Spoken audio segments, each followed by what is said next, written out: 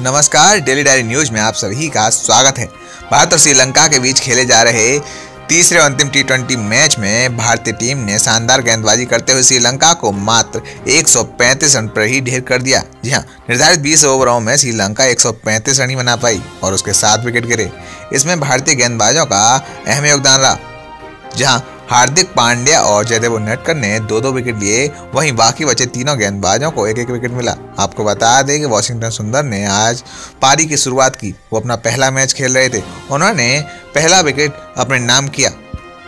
श्रीलंका की तरफ़ से सर्वाधिक रन गुरु रत्ने ने बनाए, जिन्होंने छत्तीस रन की अहम पारी खेली। उन्हें पांड्या ने पवेलियन भेजा।